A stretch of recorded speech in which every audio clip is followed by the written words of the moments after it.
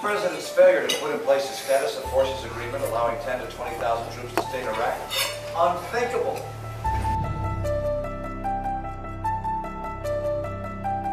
The precipitous withdrawal uh, is, uh, is unfortunate. It's more than unfortunate. I think it's tragic. He didn't mention Afghanistan. He didn't mention the troops, didn't even thank the troops for their service. Why not say at least a sentence of our gratitude for the young men and women who fought over there in Afghanistan and Iraq? I think that was a mistake.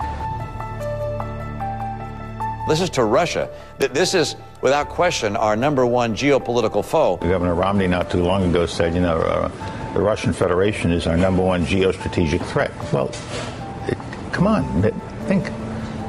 It, it isn't the case.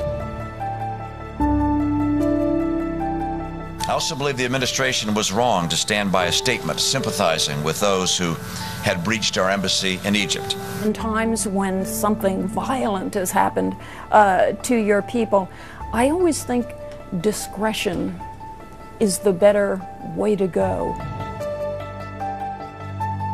And in the short time you've been here in London, do they look ready to your experienced eye? There are a few things that were disconcerting. If he's here to make uh, friends, he's got a funny way of showing it. It really gives you pause. Anything the Romney camp has done as it relates to foreign affairs uh, is beyond the stumble, it is an embarrassment. Domestic policy, you talk about stuff you don't know anything about. You know, you make a make an ass of yourself. You talk in foreign policy, you start a war.